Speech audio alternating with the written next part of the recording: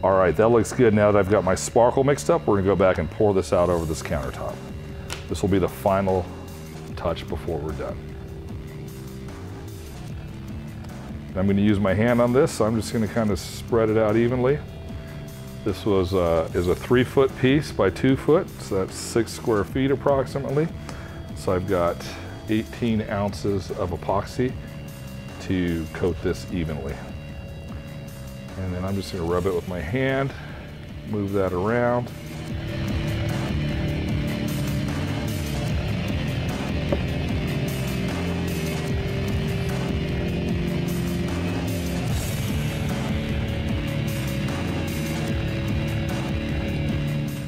All right, after I have my epoxy uh, laid out, I'm gonna push a little over the edge here just to make sure I've got something to coat with, let it drip down.